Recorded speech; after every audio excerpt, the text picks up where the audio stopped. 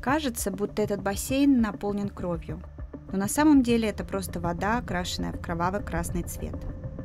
«Убийца, нет войне» написано на фасаде виллы Владимира Соловьева.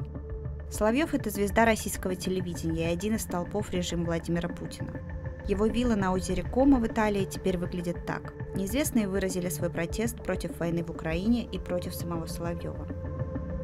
У Соловьева много роскошных вилл в Италии, и все они стали мишенями для акций протестов. Одну из них подожгли, и вот новый символический жест. Красная краска на стенах, как кровь убитых в Украине. Владимиру Соловьеву 58 лет, он теле- и радиоведущий. Он один из наиболее известных сторонников войны в Украине. В своих ежедневных программах он транслирует пропаганду войны. Его капиталы вне России заморожены, въезд в страны Запада ему запрещен. Виллы стоимостью в миллионы евро арестованы. Акция протеста с кровавым бассейном среди живописных пейзажей озера Кома прославила виллы Соловьева на весь мир.